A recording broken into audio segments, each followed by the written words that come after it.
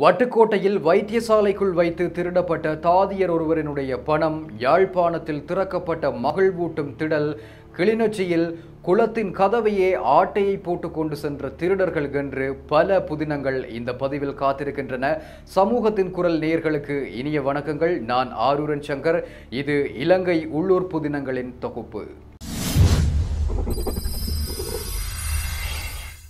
வட்டுக்கோட்டை பிரதேச வைத்தியசாலையில் நேற்று முன்தினம் இரவு தாதியர் ஒருவருடைய பணம் திருடப்பட்டிருக்கின்றது. அந்த வைத்தியசாலையில் இரவு நேர கடமைக்காக தாதியர் சென்றிருந்த போது அவருடைய பணம் மற்றும் வைத்தியசாலையினுடைய பணம் என்று சொல்லி குறிப்பிட்ட ஒரு தொகை திருடர் ஒருவரினால் திருடிச் செல்லப்பட்டிருக்கின்றது. இந்த சம்பவம் தொடர்பாக இப்பொழுது போலீசாரினால் விசாரணைகள் முன்னெடுக்கப்பட்டு வருகின்றது. நாட்டில் அனைத்து மட்டங்களிலும் பெரிய பெரிய திருடர்கள் எல்லாம் இருக்கின்றார்கள். அந்த வகையில் இது சாதாரண திருட்டுத்தானே.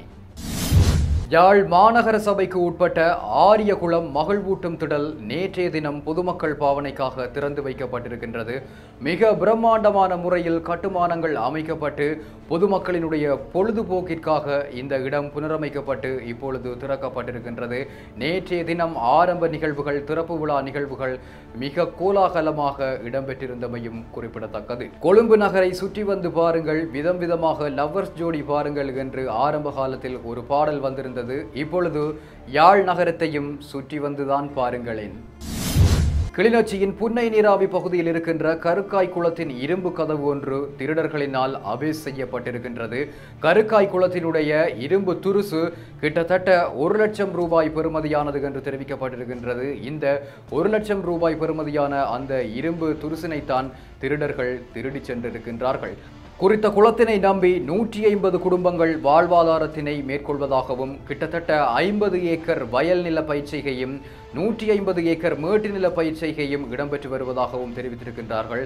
இந்த மழைக்கால பகுதியில் நீர்வரத்து அதிகமாக இருக்கின்ற பகுதியில் இந்த திருட்டு சம்பவம் இடம்பெற்றிருப்பதனை அடுத்து இப்பொழுது இந்த குளத்தினுடைய நீர் முழுவதுமாக வெளியேறிவிடுமோ என்கின்ற அச்சம் மக்களை வாட்ட ஆரம்பித்திருக்கின்றது.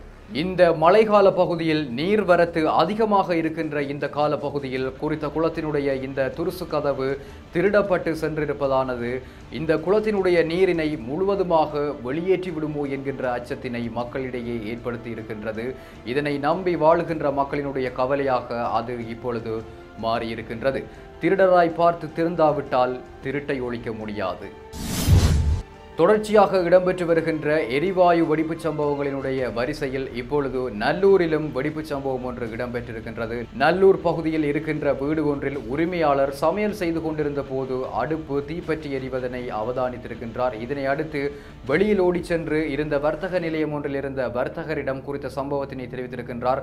வர்த்தகர் ஓடி வந்து குறித்த தீயினை அணைத்து கேஸ் சிலிண்டரினை குறித்த இடத்திலிருந்து அகற்றியதனால் பாரிய விபத்துக்கள் தவிர்க்கப்பட்டிருக்கின்றது. தொடர்ச்சியாக இடம்பெற்று வரும் எரிவாயு வெடிப்பு சம்பவங்களினை அடுத்து லிட்ரோ கேஸ் நிறுவனம் தன்னுடைய விநியோகத்தினையே நிறுத்தி இருக்கின்றது இந்த நிலையில் சமூக வலைதளங்களிலும் சரி இலங்கை மட்டத்திலும் சரி இப்பொழுது பாரிய பிரச்சனையாக பேசப்பட்டு கொண்டிருக்கின்ற ஒரே ஒரு விடயம் இந்த கேஸ் சிலிண்டர் வெடிப்பு விடயம்தான் இதற்கு முன்னர் பல விடயங்கள் சர்ச்சைக்குரிய விடயங்களாக இலங்கையில் சென்று கொண்டிருந்தது. ஆனால் இந்த வெடிப்பு சம்பவங்களின் பின்னர் இப்பொழுது இந்த விடயம் மாத்திரமே மிகவும் பூதாகாரமான விடயமாக வெடித்து கொண்டிருக்கின்றது. அதேவேளை இது குறித்து பல நகைச்சுவையான பதிவுகள் சமூக வலைதளங்களிலும் வலம் வந்து கொண்டிருக்கின்றது.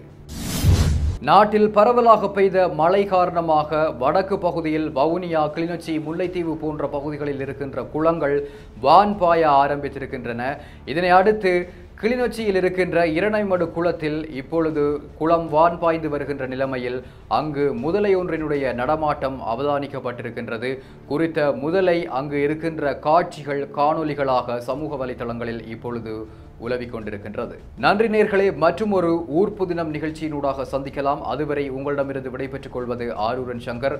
தொடர்ந்தும் சமூகத்தின் குரலோடு இணைந்திருங்கள்.